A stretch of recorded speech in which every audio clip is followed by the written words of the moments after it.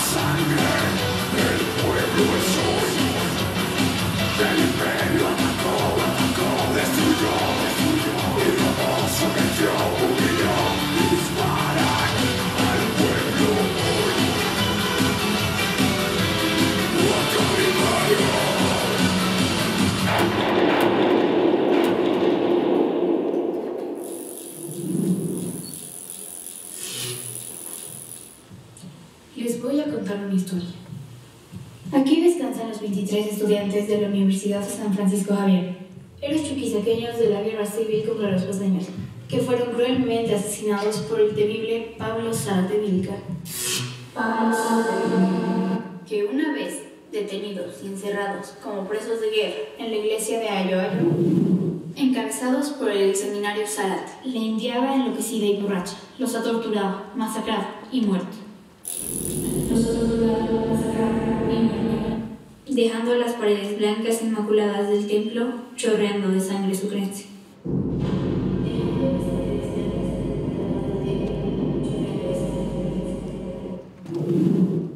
No han respetado ni Dios, dándole muerte al pobre curita, el capellán José María de Córdoba. Luego, como acto de total maldad, se cuenta que se han comido los cuerpos desmembrados de los jóvenes valientes, hijos de esta tierra. Por lo tanto, aquí no están sus restos, porque ya no había nada que traer de los ilustres universitarios.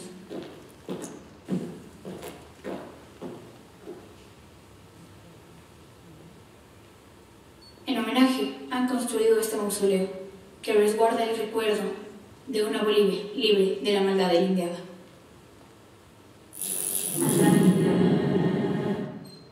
Sea fue lo que me contaron.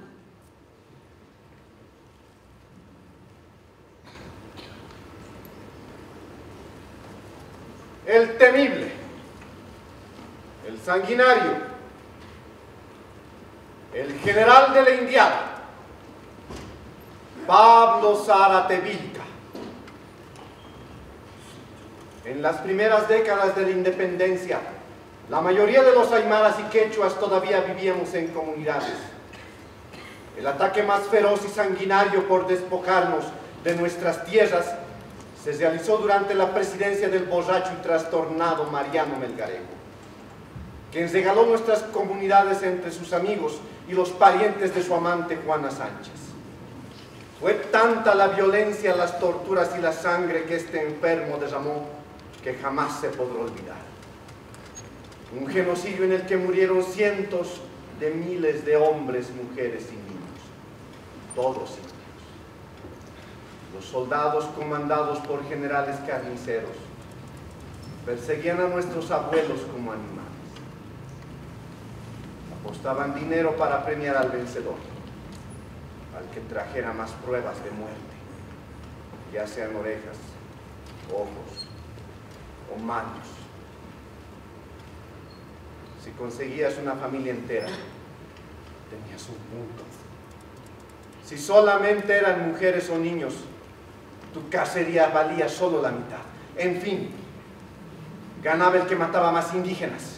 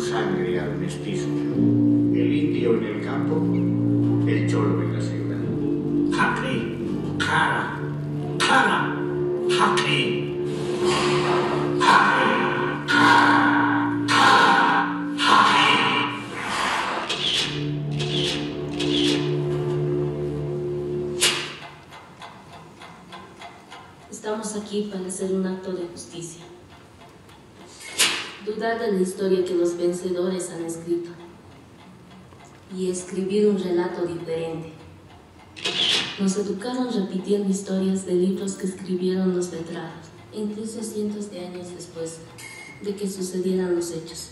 Los narran desde un lado de la moneda, desde el que siempre le conviene al poder, desde el que siempre le conviene al poder. Hoy volveremos a escribir la historia, la nuestra, quizás la verdadera, la que fue pero no se contó, la que detesta el poder la que duele en el corazón cuando te da cuenta. La que duele en el corazón cuando te da cuenta.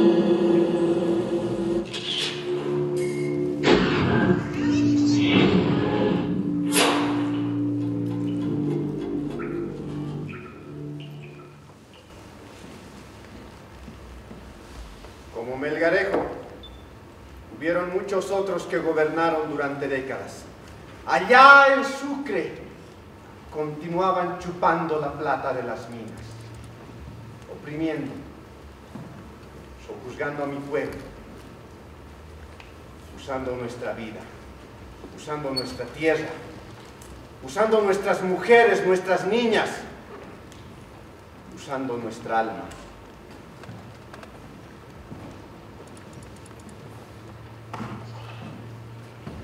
por si fuera poco. Nos obligan a ponernos sus uniformes y a marchar a una guerra para defender una tierra que ellos mismos abandonaron. ¡Minsky! ¡Jesús! Me voy a amar al Pacífico. De donde vienen las caracolas de la Guardia Chachi. Cuando vuelva, el coronel dice que nos devolverá nuestras tierras. Que nos devolverá nuestras tierras. Todos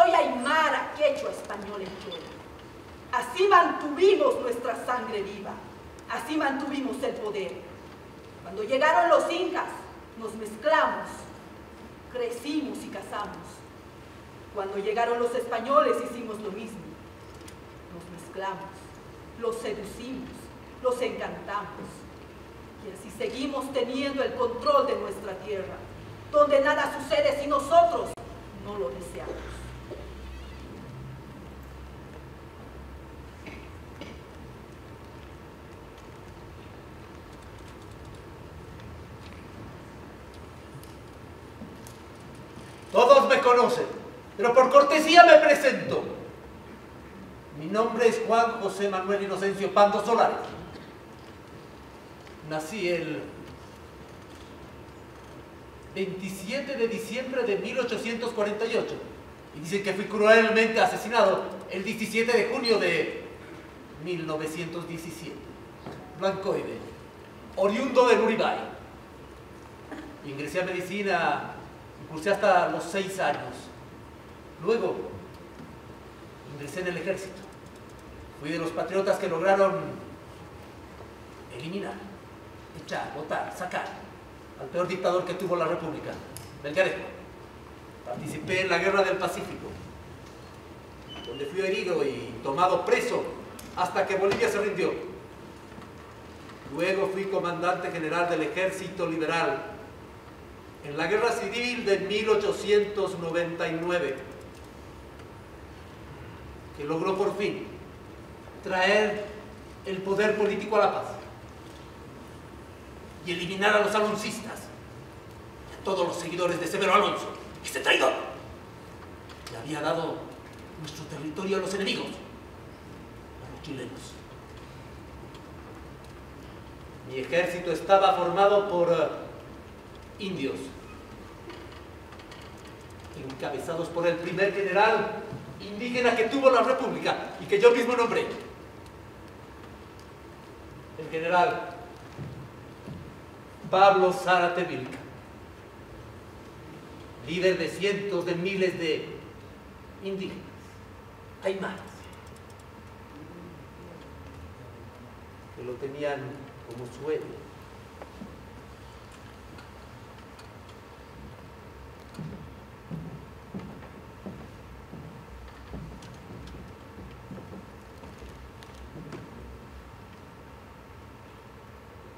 los españoles se fueron.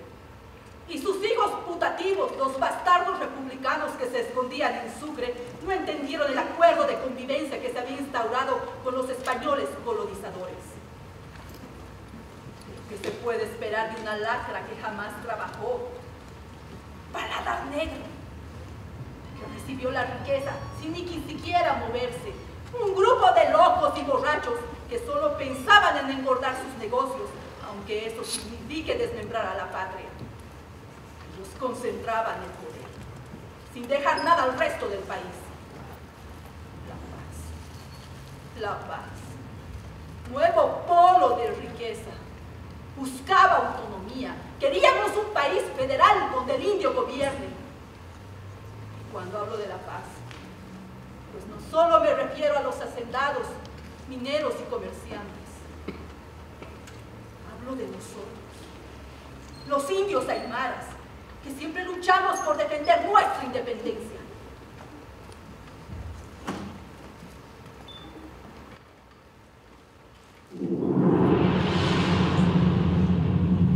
Entre 1779 y 1781, en todo el Perú y el Alto Perú surgieron insurrecciones indígenas, muchas de ellas protestando por los abusos coloniales, pero sobre todo para recuperar los privilegios de la nobleza nativa. Sin duda, el hecho más importante de estos movimientos fue el cerco a la paz, liderado por Tupac Katari y Bartolina Sisa. Liderado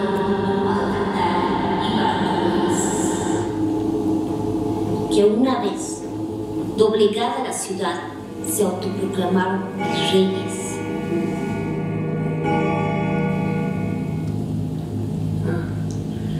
Casualmente, o quién sabe, animados por el valor de los salvajes del Alto Perú, ocho años más tarde, un pueblo gritó libertad, igualdad y fraternidad.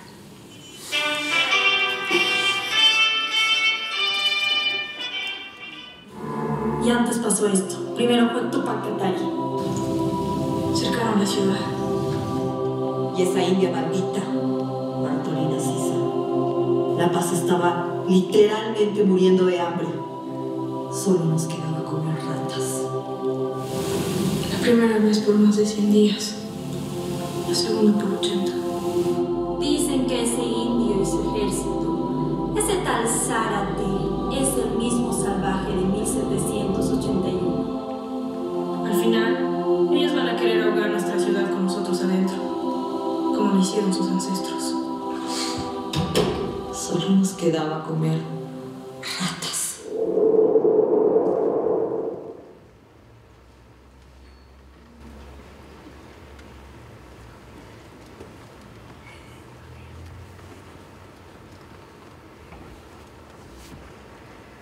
Los ingenuos cholos que hoy tienen el poder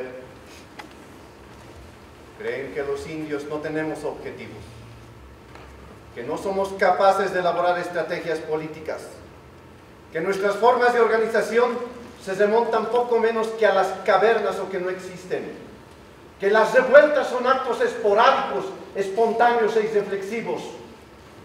Proclaman a los cuatro vientos que somos indios brutos, indios sucios, indios retardados.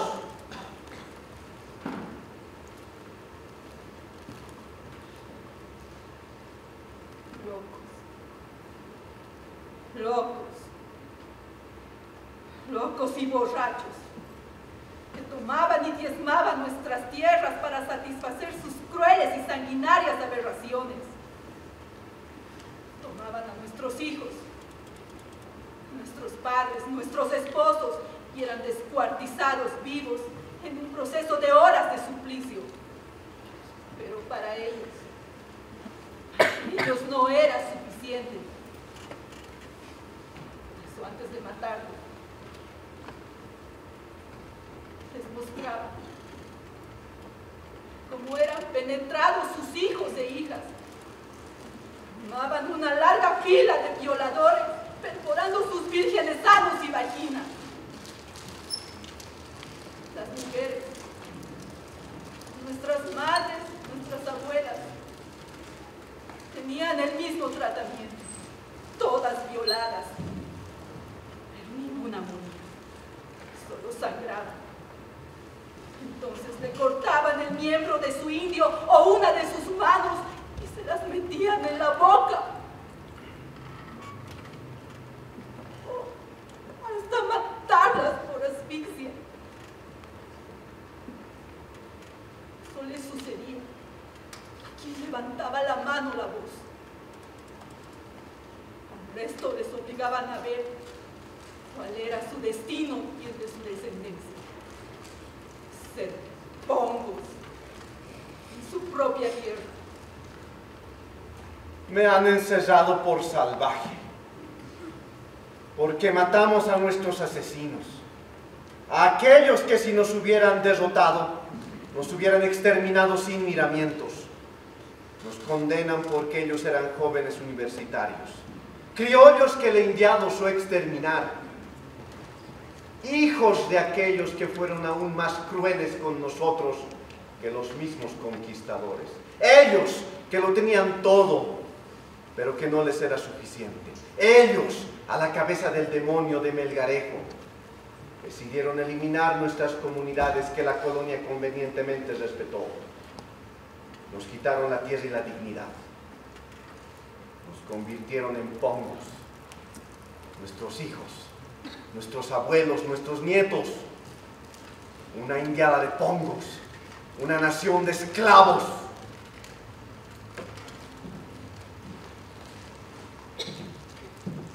Fui presidente en la gestión 1899-1904. Enfrenté la guerra del Acre, donde Bolivia perdió 190 mil kilómetros cuadrados de territorio. Por la voracidad del Brasil y por las torpes negociaciones diplomáticas que hizo mi gobierno. Estábamos atacados por el norte, asediados por el sur. Tuvimos que elaborar ese nefasto tratado de 1904. Si acaso no es como dicen. Los tratados pueden ser cambiados, modificados. Depende de quién tiene el poder. seguro mi acto más tristemente recordado sea haber traicionado al pueblo aymara, que dio su sangre para constituir una nueva república federal, para que los pueblos indígenas tuvieran sus tierras, tuvieran autonomía, su propio gobierno.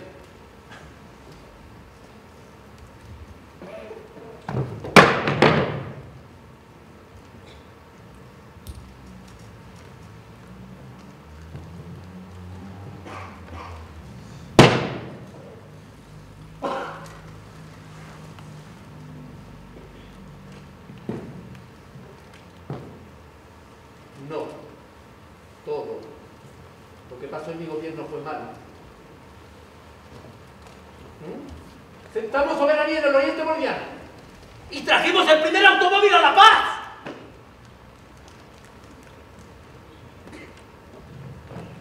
¿Qué me dirán? ¿Qué? ¿Fui el único que traicionó a los pueblos indígenas? ¿Ah? ¿Qué me dicen de la de esa revolución del 52? Ahí yo no tuve nada que ver. Esa es la historia de ustedes.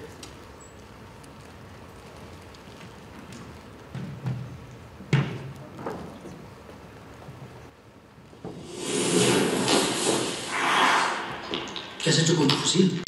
Fue lo único que traje cuando el señorito nos mandó a la guerra del Chaco. ¿Qué has hecho con tu fusil? Fue lo que conseguí a cambio de mis dos hermanos que murieron de sed. Por lo menos, hoy valen una bicicleta. ¿Has cambiado tu fusil por una bicicleta?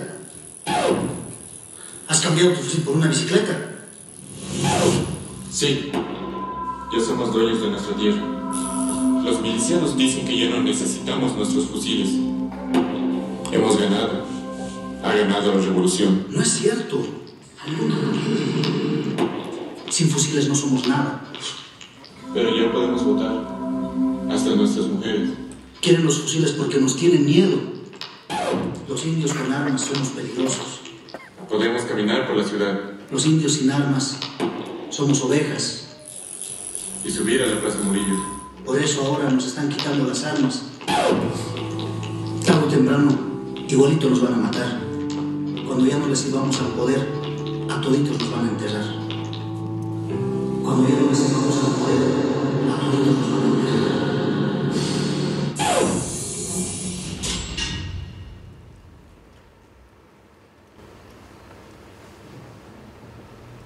Hicimos solo lo mismo que ellos hacían con sus fusiles, exterminarlos.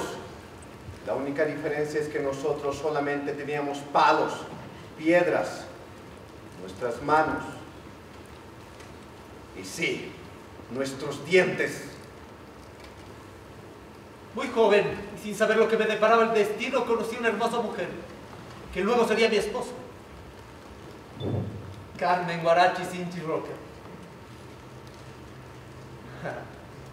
Mujer fuerte, de piel dorada, india y mestiza. Descendiente de la familia Aymara Quechua Guarachi. Gente noble desde antes de la, de la colonia, ¿eh?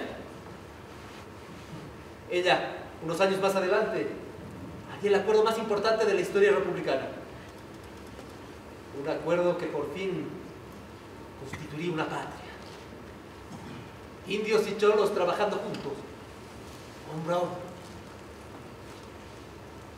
Un acuerdo histórico, claro.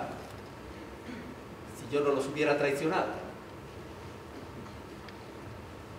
Carmen, la virlocha, la criolla de la ciudad, se convertía en la india, la guaracha. Y recorría todo el altiplano, movilizando a su pueblo, movilizando a sus hijos.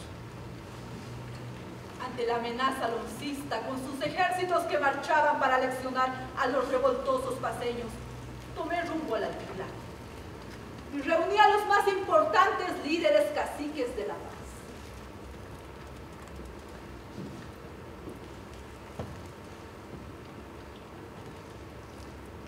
Allí lo conocí. El indio de quien siempre había oído hablar. El indio autoridad. El que se había educado como un iluminado. Que había aprendido a leer y escribir sin ayuda. El que comandaba a los otros caciques. Era Pablo Zárate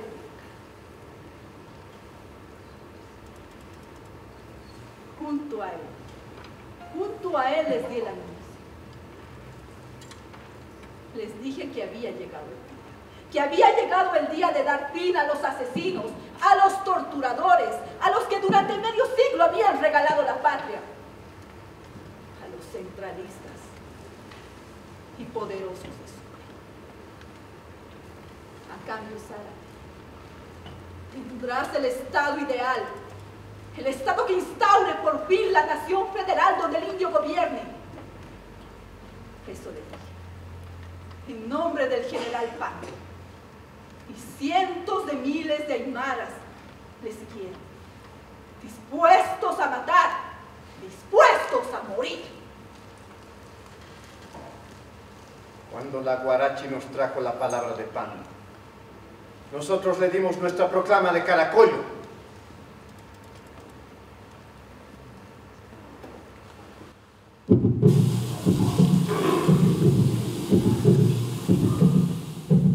Publíquese por bando solemne.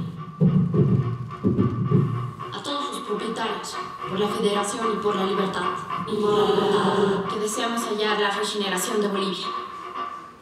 Como todos los indígenas y los blancos nos levantaremos a defender nuestra República de Bolivia, porque quieren apoderarse el traidor, asqueroso sacraluncismo, vendiéndonos a los chilenos. Con grande sentimiento ordeno a todos los indígenas guardar el respeto con los vecinos, que no hagan tropelías ni crímenes, porque todos los indígenas han de levantarse para el combate y no para estropear a los vecinos.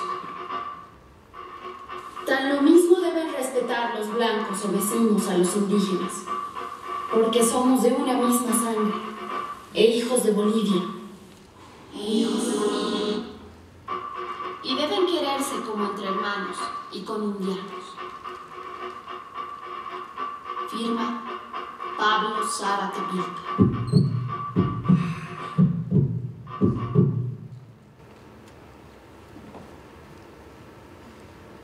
¡General! ¡Vamos para Tevilca! La proclama de Caracollo la guardé en absoluta reserva. Era mucho más que la recuperación de tierras o de sus comunidades.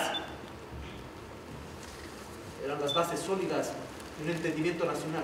Concebían la república y la nacionalidad de un modo más avanzado que el que proponían los grandes intelectuales cholos de la revolución liberal de la paz. Era táctica política que solo un verdadero líder podía elucubrar. Un líder capaz de opacar al propio general del ejército liberal. Capaz de opacar al propio presidente Juan José Manuel Inocencio Paldo Solares. O sea, a mí.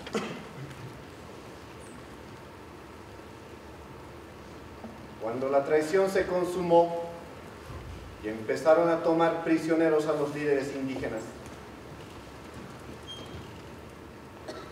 me dirigí a Palacio.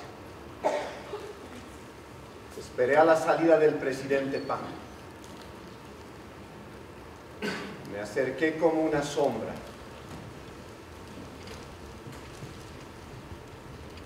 Le pedí una audiencia, pero él se negó. Entonces comencé a increparlo. No hemos venido aquí a pedir clemencia, sino justicia.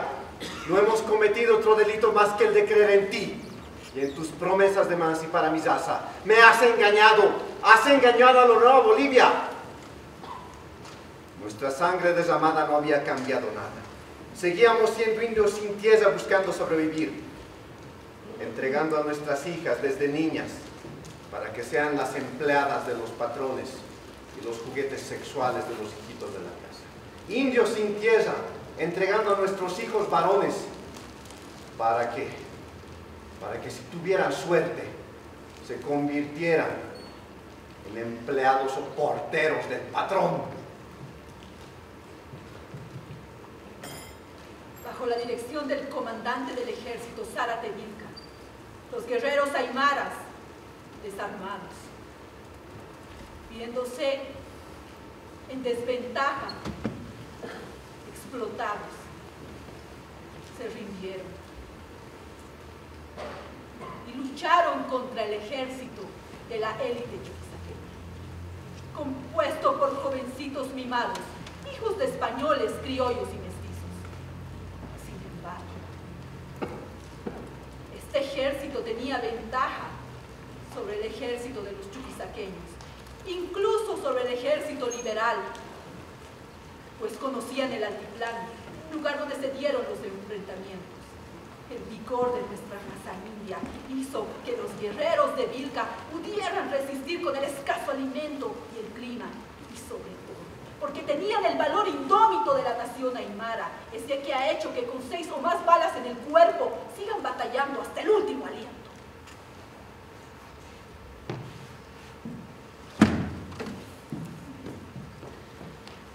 Mis comandantes decían que los chuquisaqueños, los conservadores, tenían uh, armamento, estaban entrenados y que nos doblaban en número. Pero claro, ellos no sabían nada sobre el ejército aymara. No sabían que teníamos carne de cañón. La indiana. Era un plan perfecto. Matar dos pájaros con un solo disparo. Matar chuquisaqueños e indios al mismo tiempo. Los chuquisaqueños gastarían municiones. Incluso algunos de los hijos de los aristócratas traidores mueran. Y al mismo tiempo diezmaríamos a ese nuevo y peligroso ejército que habíamos formado de indígenas, pero que luego de la guerra civil debíamos eliminar. La orden fue clara. La indiada primero. La indiada que muera. Pero la indiana no moría. Morían los chuquis. Morían porque debían morir. Morían porque nos mataron primero. Nos torturaron. Nos violaron. Ellos no pensaban en la tierra. Ellos la regalaban. Nunca la sintieron como propia. La abandonaron y luego se la entregaron a Chile, donde ellos mismos tenían sus negocios. Así es. La indiada avanzaba cada paso más y más. Solo con el valor en sus brazos. Nada nos podía detener. Incluso pasaron sobre el ejército liberal de Pan, porque ellos ya no entendían que no eran indios sumisos, se los debía respetar como iguales. No, no, no, no era buena señal. Se sentía que el ejército de Zárate, luego de ganar la guerra civil, iría por más. Este indio provocaba admiración, provocaba envidia, también provocaba terror. No solo por el poder bélico que había demostrado tener, sino por las cosas que pensaba. Un día llegó el censo al nuevo Estado liberal. Y supimos la verdad. Nosotros éramos tan solo 300.000. La indiana, casi un millón. Pando ya lo sabía. Los indios éramos un millón. Les retumbaba en la cabeza el presagio. Volveréis ser millones. Su miedo era certero. El acuerdo era solamente un papel. Nosotros nos cobraríamos todo, cueste lo que cueste. Somos aymaras. Siempre quisimos gobernarnos a nosotros mismos. No como los quechuas que solamente pedían ser parte de la corte. Esa fue la diferencia entre nuestros ancestros. El líder quechua Tupac Amaru luchaba por reformas y aperturas para los indígenas en el gobierno de los españoles. En cambio, el aymara Tupac Katari quería eliminar a los españoles y que desaparecieran de esta tierra. Habíamos luchado contra Sucre para obtener el poder político y no había manera de perderlo. No teníamos otra alternativa. Carajo, Juan Manuel. ¿Qué estás haciendo? Me estás traicionando. Nos estás traicionando. ¡Generales! Los servicios indígenas ya no son necesarios. Desde hoy, todos presos. Mejor. Todos muertos. Tomado preso a Zárate. No lo sé.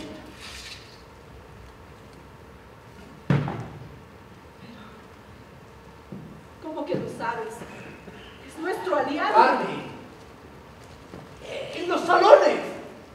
En la prensa, todos le temen. Dicen que si se da cuenta del poder que tiene en sus manos, a eliminar. Pero esto solo nos regresa al pasado. Incluso se escucha que los federales ya no quieren una nación liberal. No, no quieren una nación liberal. Se basan en la ciencia. No le quieren dar poder a los indígenas. La ley de Darwin. Nosotros somos seres superiores. Los indígenas les falta evolucionar. Si le das poder a alguien inferior, lo conviertes en salvaje, en temible. Yo temible. Tu Pacatari era temible, carajo. Su voz no dudaba. Era inclemente.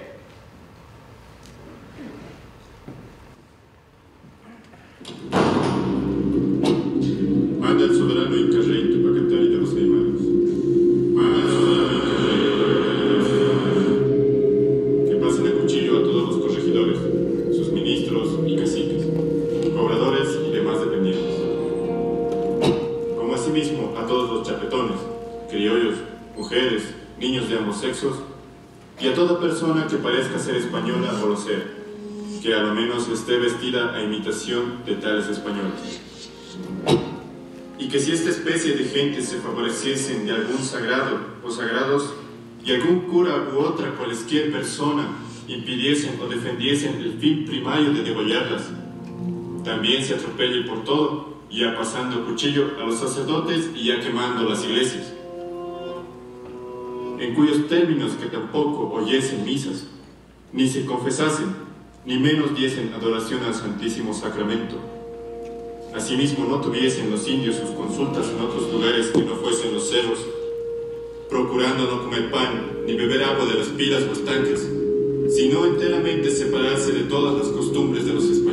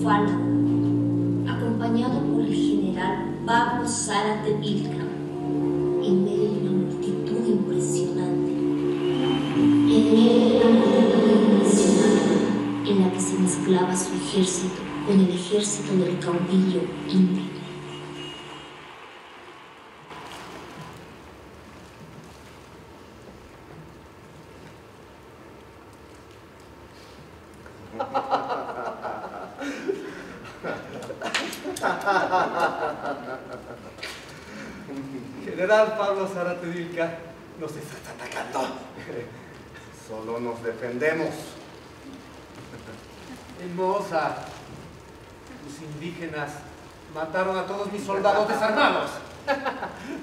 En Moosa, el escuadrón Pando, el tuyo, entró e hizo lo mismo que hacían los soldados de Melgarejo.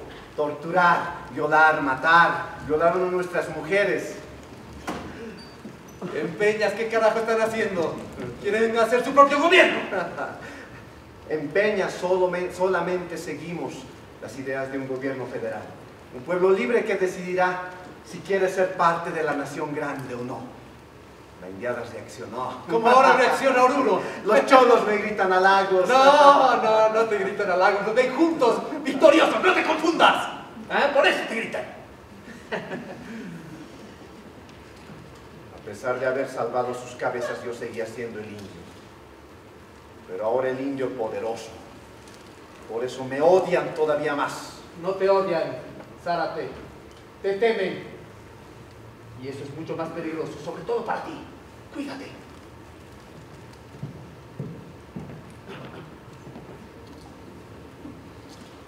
El 23 de abril de 1809, después de la batalla del segundo crucero,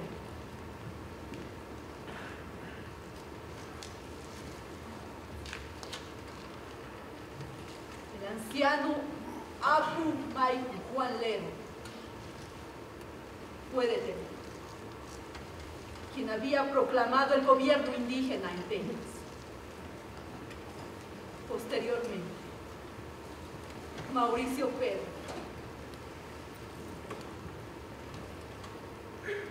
quien había proclamado el gobierno indígena en Saca. Llegamos a Oruro y luego a La Paz como héroes. Habíamos vencido a los asesinos. Bolivia tenía futuro, pero los nuevos dueños no se veían muy contentos. Ahora tenían un nuevo problema. Los indios organizados y admirados por los cholos liberales de la ciudad. En la misma fecha fueron aprendidos Cruz Mamán y el mismo Zárate.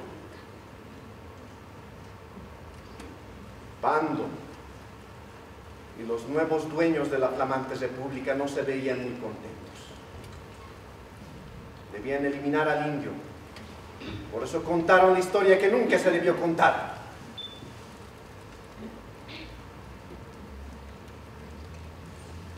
Zárate le sigue esperando.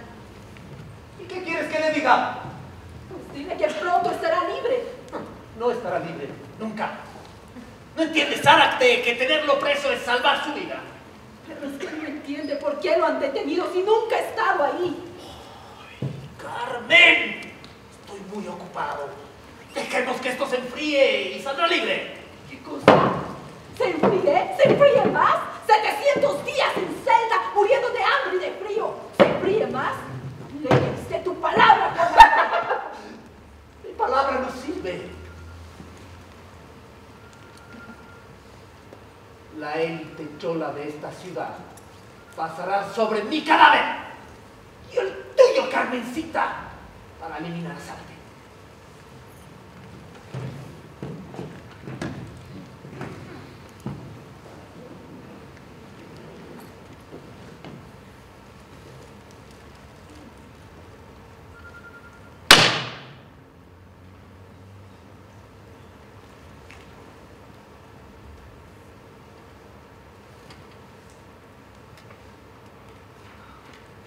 dos, tres, cuatro, cinco, seis, siete, diez, veinte, treinta, cuarenta, cincuenta, sesenta, setenta, ochenta, noventa.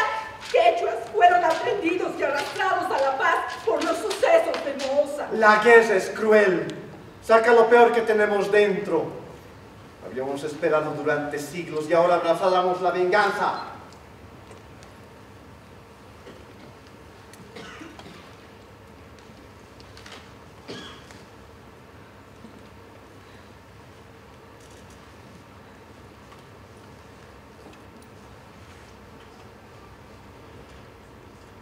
Zárate. Zárate. Zárate. Zárate. ¿Estás ahí? Por tus venas corre sangre aymara. Por eso estás aquí dando la cara. Zárate. Zárate, sabes que él no puede venir. Si él no puede venir, dile que vaya a mi pueblo. A Emilia, Emilia. Que hable con mi gente. Que diga por qué nos abandonó. Que mire a los ojos a los niños, a mis hijos, a los hijos huérfanos. Todos te temen, Zárate. Si sales, morirás. Ya estoy muerto. He muerto con cada hermano que mataron, que torturaron, que violaron. Pero Zárate, ya pronto, ya pronto saldrás. El presidente El Pando. presidente Pando. ¿Qué sabe el presidente Pando de estar preso, de vivir preso, de nacer preso en tu propia tierra? Ya pronto, ya pronto. ¿Cuándo? Lo he escuchado. Lo he escuchado, Zárate. Preparan una revuelta y vendrán a buscarte y te llevarán a casa. En la misma fecha, en julio, Zárate Milka dejó la cárcel en un episodio jamás aclarado. Posteriormente, fue asesinado por un grupo de cholos en Emilla y Milla, cerca de Sicasica, lugar donde había nacido.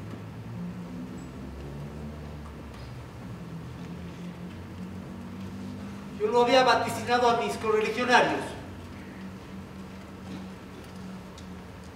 Matar a Zárate fue un error. Esta gente ya no tenía nada. No tenía tierras. No tenía comunidades. No tenía ni esperanza. Sin darnos cuenta, los obligamos a acercar nuevamente nuestra ciudad. Deambulaban por la calle pidiendo pan. ¿Cómo decirlo de una manera romántica? Eran nuestros miserables.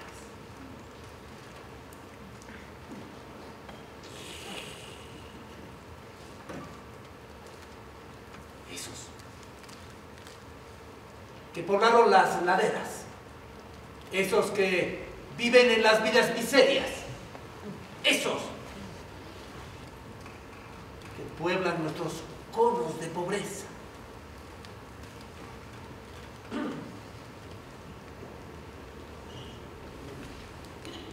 Seremos tantos que fundaremos ciudades, si se las puede llamar así. Comenzaremos con casuchas en medio de la nada, conviviendo con el hambre, conviviendo con el frío. Seguiremos cuidando la tierra, no solo lo que hay encima de ella, sino lo que hay dentro. Cuidaremos el agua y el gas. Millones cercando a los que usurpan el poder, cuidando a los hermanos que ahora deben cambiar la historia. Los que no llegaron a las ciudades, los enviamos a las minas. Siempre organizándose, sindicatos, cooperativas, siempre poniendo el pecho a las balas. La historia se repite. Fueron masacrados una y otra vez. Creyeron que eliminarme cambiaría el destino. Cuando por la prensa, por las calles, corrían las historias de la brutalidad aymara, las escenas de terror protagonizadas por los indígenas. Cómo entramos en sus iglesias, donde se refugiaban los jóvenes universitarios, y cómo los exterminamos sin compasión. Contaron con lujo de detalles. Los juegos, la tortura previa, los premios al indio que trajera más orejas, ojos o manos. Contaron cómo cortamos sus partes de hombre, recordándoles que años atrás las utilizaban para violar a nuestras niñas. Contaron cómo quemamos sus iglesias que durante siglos fueron testigos mudos de nuestro sufrimiento. Y luego contaron los detalles macabros cuando comimos sus cuerpos. Sea cierto o no, eso fue lo que se contó. Un día, las minas colapsaron.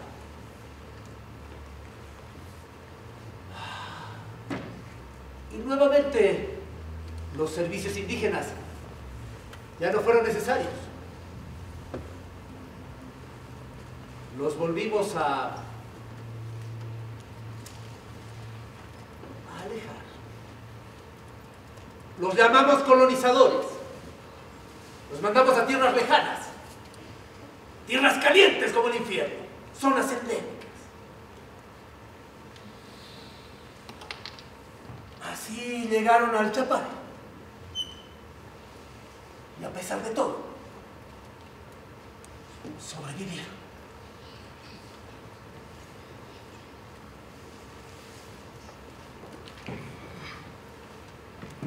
Severo Alonso, mírenlo bien, líder de los aloncistas, último presidente de la decadente élite chuquisaqueña, sus más allegados colaboradores salieron rápidamente del país pidiendo asilo en Chile.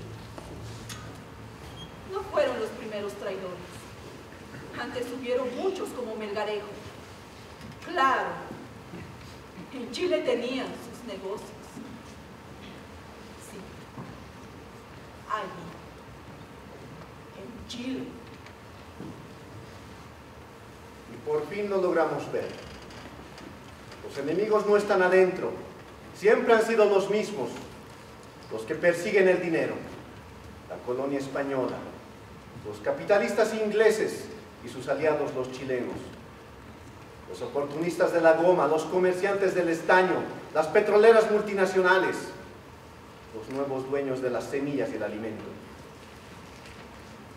Siempre son los mismos. Y cuando ven que tenemos una mínima posibilidad de salir de sus fauces, nos dividen, como si fuéramos títeres, y hacen que no pensemos en lo que realmente nos importa. Los usurpadores eligen un bando y le dan todo, armas, dinero, recursos, hacen revoluciones, asesinatos, golpes, guerras. Y el saqueo continúa una y otra vez. Esto no ha terminado todavía. Aún se escucha, indio de mierda, culito blanco, y sabes que están intentando dividirnos. Pero ahora somos millones. Ya no se trata de indios contra cholos, sino de millones de bolivianos con la sangre mezclada, defendiendo la nación de la antinación. Por eso ahora somos, somos Tupac Katari, somos Bartolina Sisa, somos Simón Bolívar, Juana Zurduy, el Tambor Vargas, el Moto Méndez, el Mariscal Andrés de Santa Cruz, somos Sara Tevilca, Apiahuaki Tupa, somos el cura Mauricio Lefebre, somos Teoponte, Marcelo Quiroga Santa Cruz, el padre Luis Espinal. Somos tantos y tantos nombres que no podemos permitir que esto quede en la nada. No podemos permitir que vengan los de siempre y que volvamos a ser esclavos en nuestra propia tierra.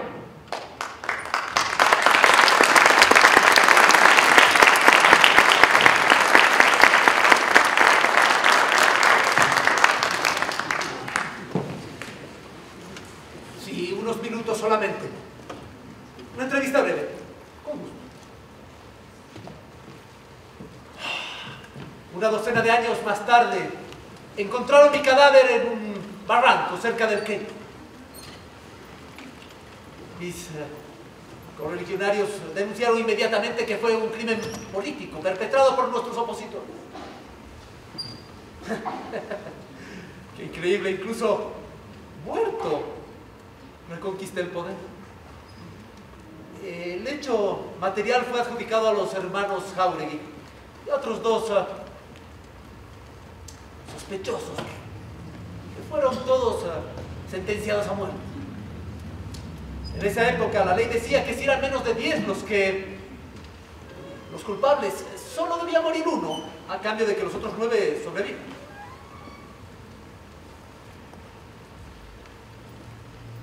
El método de selección ¿verdad? del finado y los otros tres sobrevivientes era un sorteo narrado como eh, complejo y emocionante al mismo tiempo. Muy emocionante. Sobre todo cuando salía el bolillo con el afortunado ganador de la muerte. Dato curioso. Eh, la ejecución, el, ah, penosamente de, de uno de los hermanos, Alfredito Jau.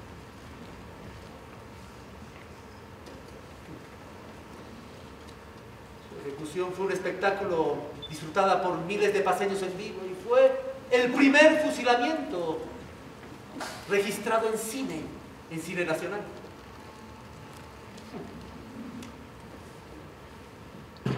Fusilamiento injusto. Hoy puedo decir, mm, mi muerte fue natural, no me asesinaron. Años más tarde, los médicos y mi cuerpo vieron la. ¡Oh! Un infarto fulminante. ¿Perdón? Sara. Le dije que no voy a contestar sobre Sara.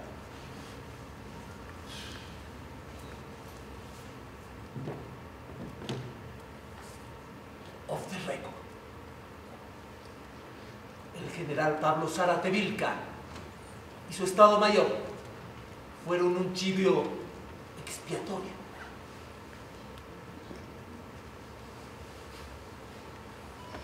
Los terratenientes jamás, jamás les devolverían la tierra. Ah, Indios ingenuos. Pero así es la política.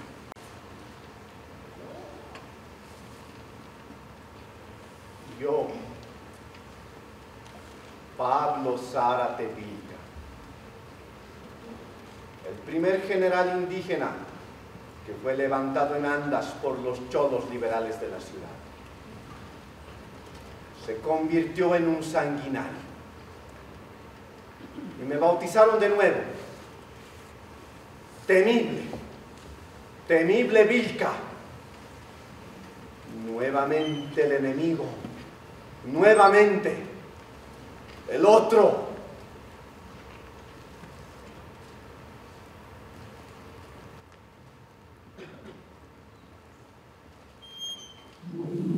Reescribamos la historia. Aquí descansa Pablo Zarateville, el primer general indígena de la República. Se convirtió en el comandante general del heroico ejército Aymara, que logró constituir la nación federal y autónoma que hoy disfrutamos. El general Saad de Vilca fue determinante en la recuperación del territorio del litoral, uniendo su imbatible ejército a las fuerzas peruanas. Fue presidente de la República en la gestión de 1904 a 1909. Reconstituyó las tierras y las comunidades campesinas a los pueblos originarios y puso las semillas de la potente industria agraria que hoy goza Bolivia. Hoy, los cholos y los indios de todas las latitudes de la patria le rinden homenaje al indio, al indio, al indio, que cambió la triste historia de Bolivia. Luego de su muerte, a la edad de 90 años, rodeado de su amada comunidad, fue nombrado el sabio. El sabio Vilca, el hacedor de la patria nueva, la Bolivia que pudo ser, pero que nunca fue. ¿Qué historia nos gustaría contar? ¿El sabio o el temible? ¿El nuestro o el otro?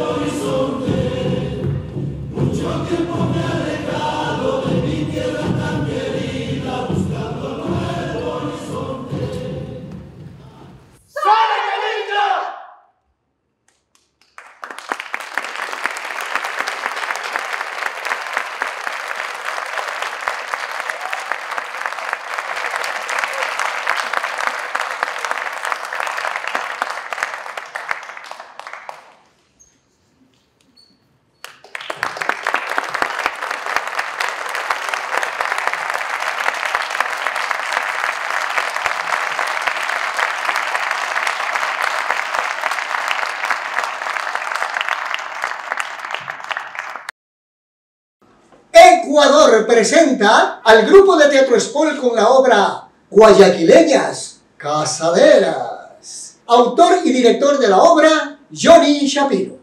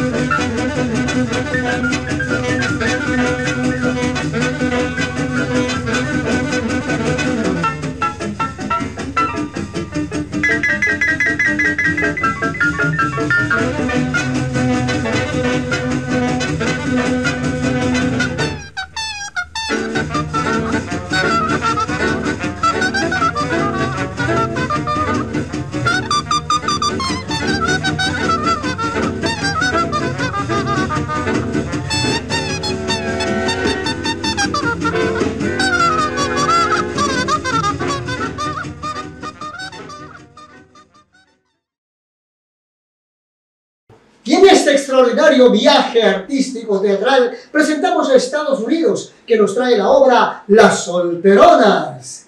El grupo que la interpreta es el Teatro Tocando Puertas Inc. Es una obra escrita por don José de la Cuadra en una adaptación libre de don José Martínez Queirolo. Dirige la obra Cecil Villar.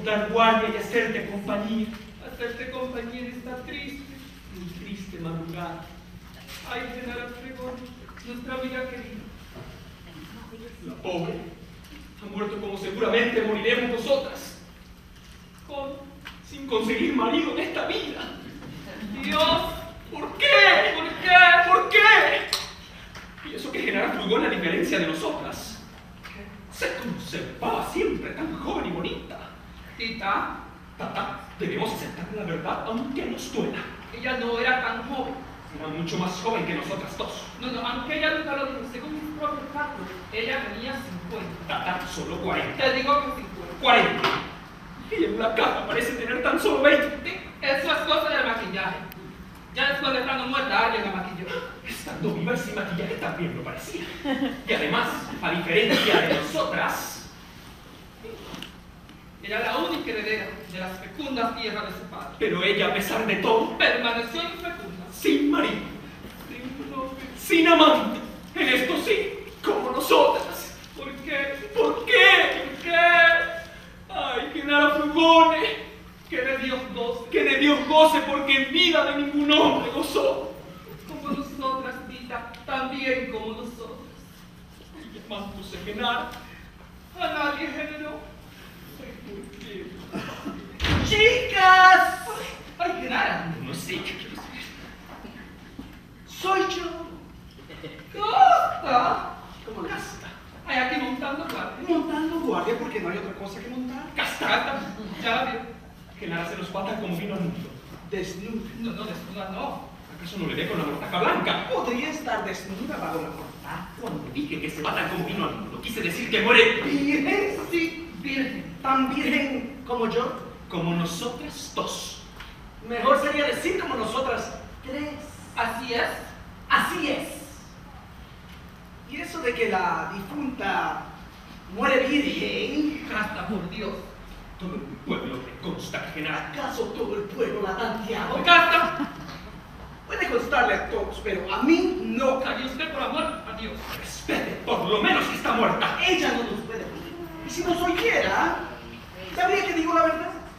Además, ¿Qué? que todas las vírgenes del pueblo no podemos permitir que se entierre de blanco a todas las solteras si no estamos seguras. Tan seguro estoy yo que puedo hacer por ella lo que no haría por ninguna de las que por aquí suelen pasar por vírgenes sin serlo. Y se puede saber. Y se puede saber. Y se puede saber qué es lo que usted ha hecho. Yo metería la mano en la candela por su virginidad. ¿Acaso no la metería por mí? Por usted metería la mano en la candela, apostando que usted ya no lo es. Pero ¿cómo usted se atreve? Usted cuando se muera le van a enterrar en una mortaja roja y en una caja verde, vieja de. Ya, por favor. Respeten que estamos en un funeral. Señorita, señorita. Además, señorita, en el supuesto caso de que usted fuera tan virgen como afirma, ¿Qué? Una cosa es ser virgen voluntaria Eso es cierto. y otra por fea, virgen obligada. Así es, señor. Además, señorita, todos nos consta que a Genara Frugone nunca le faltaron pretendientes. No, no, nunca. Desde el señor alcalde al panadero. El boticario Y el maestro de la escuela. y muchos otros más. ¿Y no es posible que entre tantos pretendientes... No, No, no es posible. Porque a Genara nunca, nunca. están seguros. Esto, sí, estamos Sí, seguros. sí, sí. ¿Acaso ustedes dormían en su cama? No, no. ¿Por qué sería que entre tantos pretendientes, Genara ninguno de ellos aceptó? al mencionarlos, ustedes se olvidaron de mencionar al pretendiente por por amor, ella no quería aceptar a ninguno de los demás. ¿A quién? ¿A quién? ¿A quién? ¿A quién? Al señor cura. ¿A quién? ¿A quién? ¿La edad las tiene sordas? Dije que al señor cura. Padre, madre. No. El médico del pueblo afirma que Genara murió de un trancazo incurable, sin cura. Pero yo sé que ella muere precisamente por el amor de un El padre mata. Ya les dije que no. El padre mata no mata ni una mosca. ¿Quién sabe quién entonces? Lo que no lo sabe, ¿eh? Por lo visto que no. Yo me refiero al cura que estaba en el pueblo antes que el padre mata. Padre Malatesta. Malatesta. El mismito. Yo sabía que ustedes no lo podían olvidar, porque se trata de un cura inolvidable. Inolvidable, sí. Por sus sermones. Inolvidable por sus actos de caridad. Por sus... Vamos, chicas, vamos.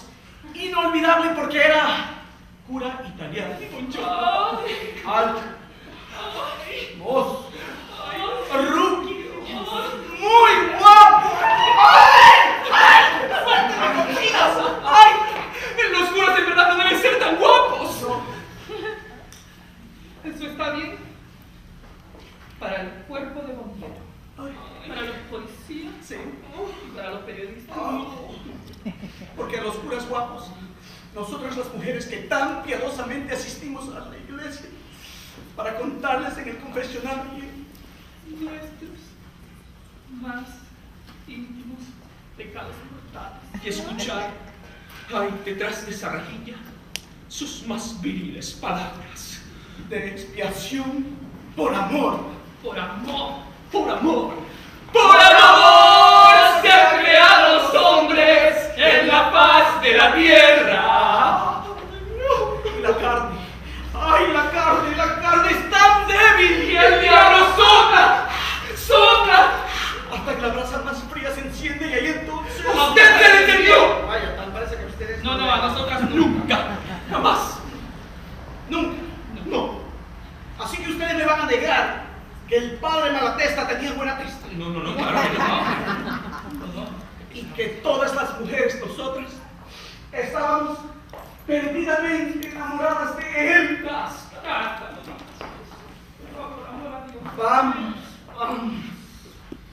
En esta hora, en esta madrugada que estamos aquí, estando como estamos, completamente solas, deberíamos de decirnos la verdad. Yo no niego que el padre Malatesta era muy guapo. Sí, muy guapo y atractivo. Tenía unos ojos azules como el cielo y un rostro y unos labios. Era guapo, muy guapo. Sí, guapo como Jesús. Y ustedes no se dieron cuenta que este cura tan guapo se le caían las babas por Genara Pregones. Todas nos dimos cuenta. Sí, sí, todas. Cuando él daba el sermón, desde el púlpito él nos fustigaba a todas. Pero cuando ella llegaba a la casa del templo, a él se le endulzaba su voz.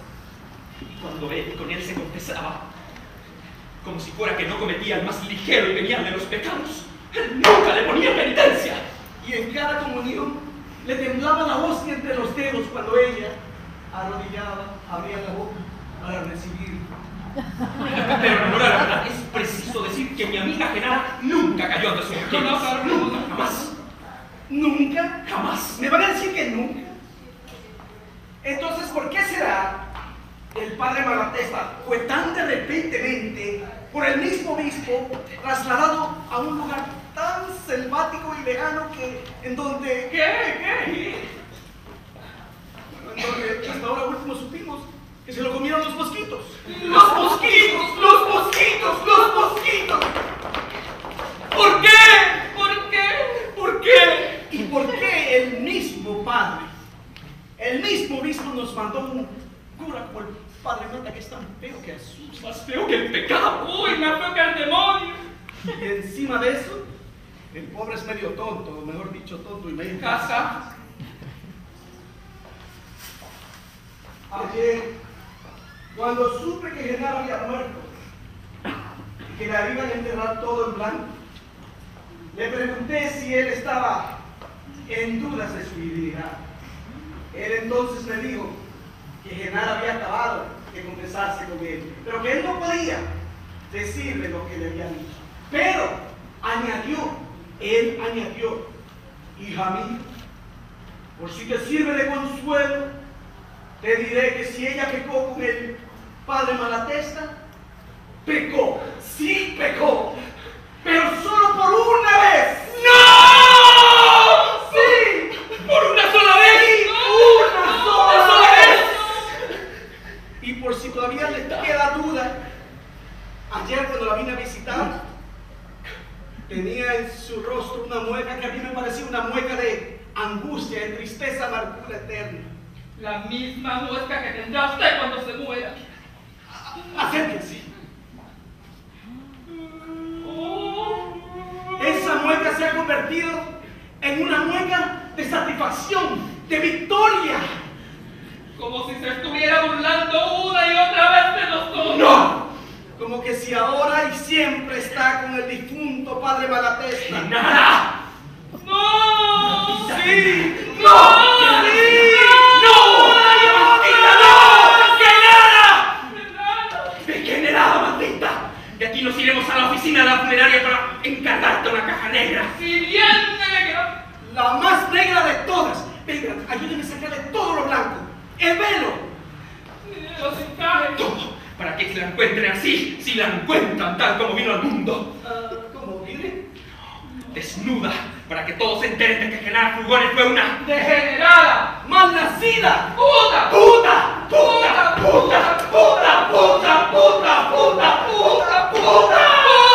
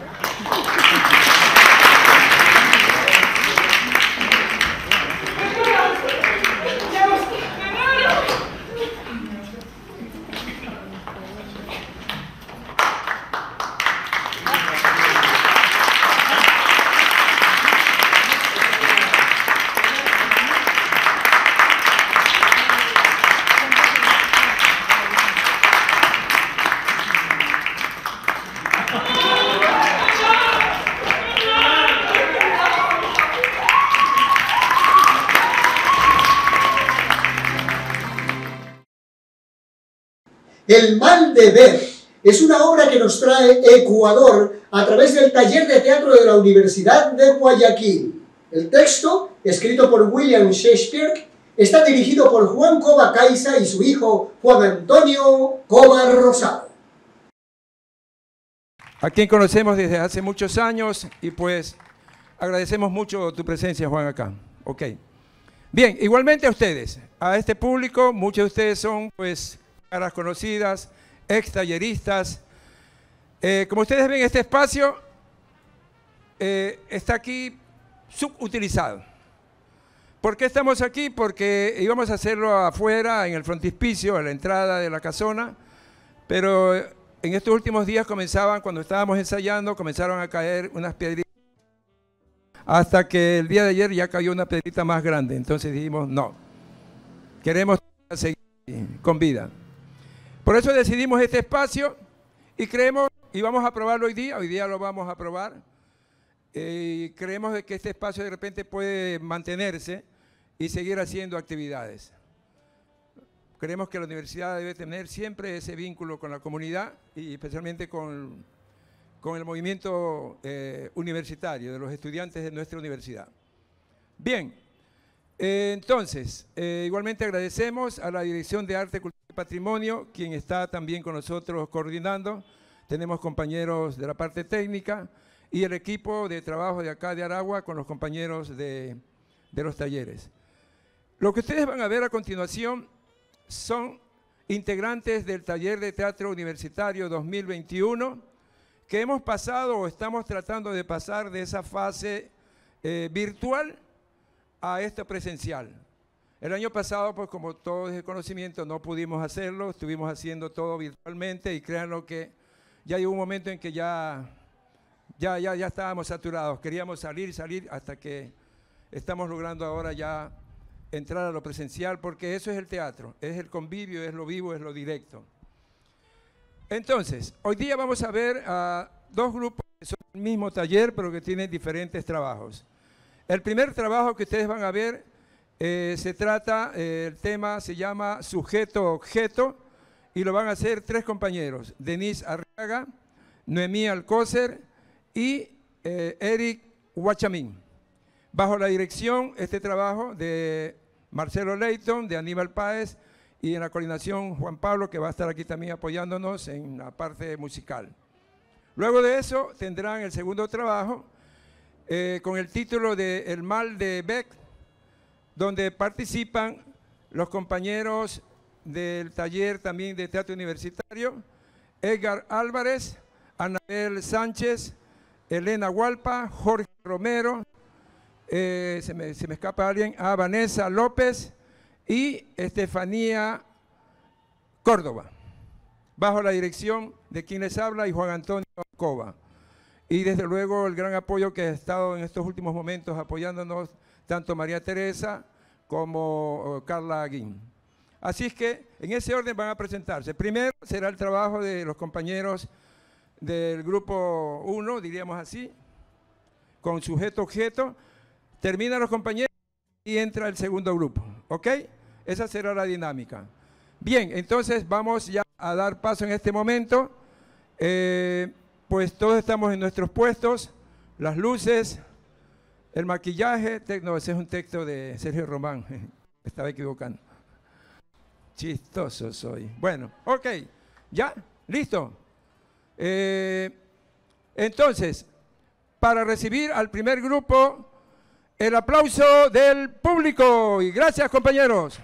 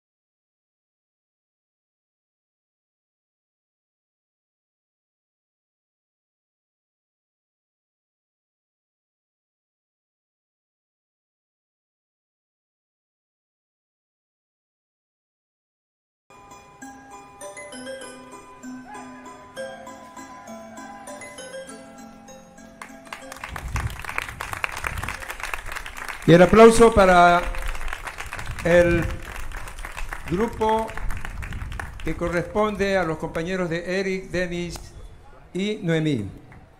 Bien, a continuación vamos entonces al segundo grupo.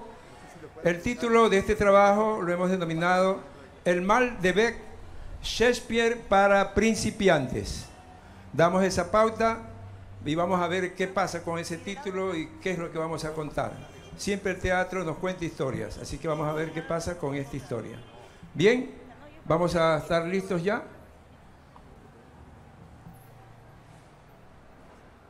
Ok, entonces vamos a recibir con un fuerte aplauso a los compañeros de El mal de Beck, Shakespeare para principiantes.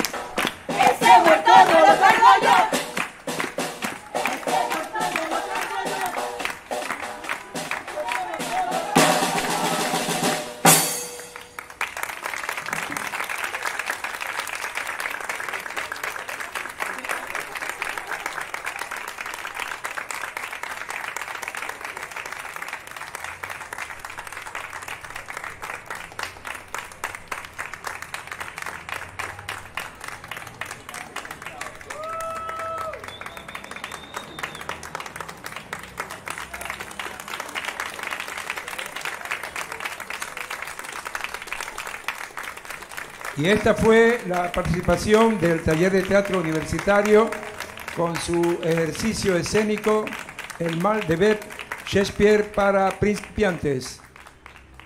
Aquí nomás, ahí, ahí, que lo vamos a fusilar. Eh, por favor, los compañeros del otro grupo vengan. Un poquito más acá. Pónganse aquí. Bien, agradecemos a todos los, estos jóvenes. Queremos uh, informar que ellos todos son estudiantes de nuestra universidad. Son de diversas facultades, de comunicación, de administración, educación física, eh, psicología, eh, bueno, no sé, algunas. A lo mejor ustedes mismos la pueden decir. A ver, digan ustedes, ¿de qué facultad son? Pedagogía de la lengua y literatura. ¡Aplauso! ¿El otro? Derecho. Psicología. ¿El otro? ¡Ah! Eso, muy bien. Me gusta ese título. ¿El otro? Jurisprudencia. Ciencias administrativas. Facultad de Educación Física. Ciencias administrativas.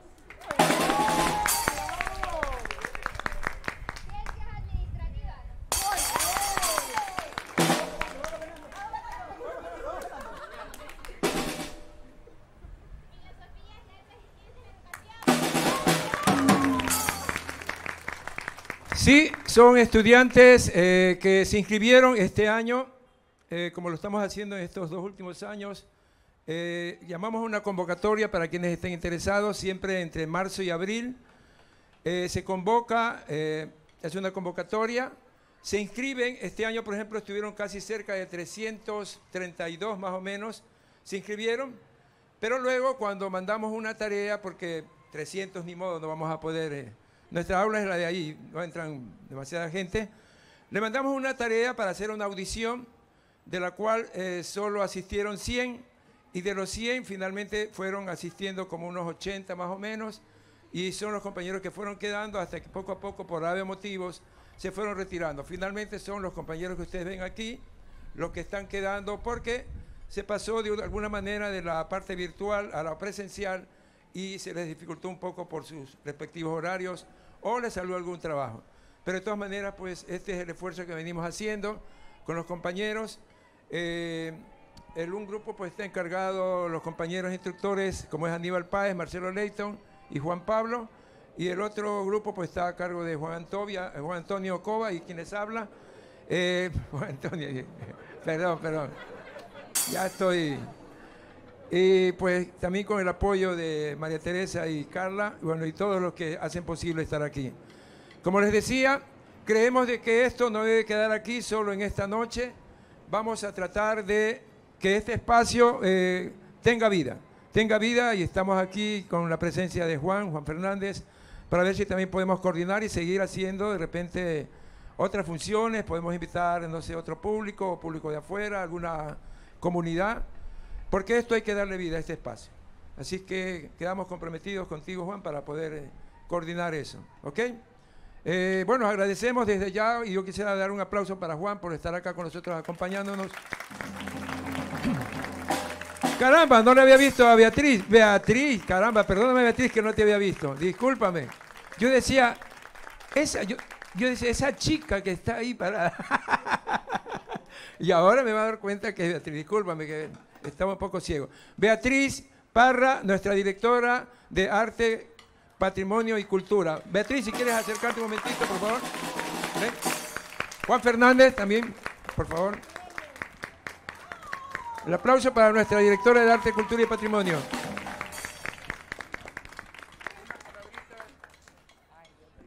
Bueno, chicos, felicitándolos de todo corazón porque es un trabajo maravilloso el que acaban de hacer. Eh, el teatro necesita que el público se convenza de lo que ustedes están haciendo y lo lograron. Realmente fue muy emotivo, fue muy eh, conmovedor, por lo menos eso fue lo que yo sentí, yo estaba en la parte de allá. Hoy día he estado media delicadita, por eso le pedí a Juanito que por favor nos acompañe porque no estaba segura si podía venir o no.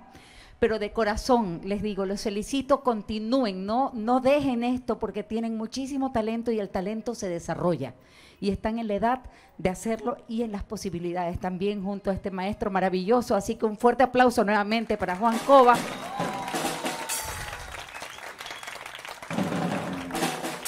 y ten la certeza que este será un espacio porque es maravilloso, al aire libre como se necesita en estos momentos de, nuestra realidad.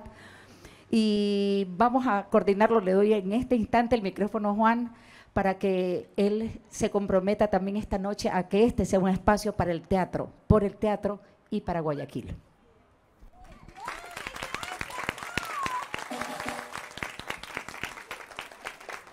Bien, buenas noches con todos. Eh, el saludo a nuestra directora de Arte, Cultura y Patrimonio, la compañera Beatriz Gil, al profesor Juan Cova, que dirige el Teatro Aragua y ha dirigido este taller de una manera excelente. A cada uno de los estudiantes de la Universidad de Guayaquil, de las diferentes facultades. Es importante poder rescatar la cultura, lo que hace Beatriz conjuntamente con Juan, talleres de teatro, pero es lo que se debe incentivar en cada una de las respectivas facultades, carreras de nuestra Universidad de Guayaquil. Eh, a nombre de las autoridades de la universidad, del señor rector, de la señora vicerrectora, eh, vamos a apoyar mayormente a los jóvenes universitarios para que de esa manera puedan tener todos los instrumentos, todos los elementos para que pudieran realizarlo de la mejor forma. Y hoy realmente la universidad se siente agradecida con ustedes, lo han hecho de una manera brillante y que viva el taller universitario de teatro.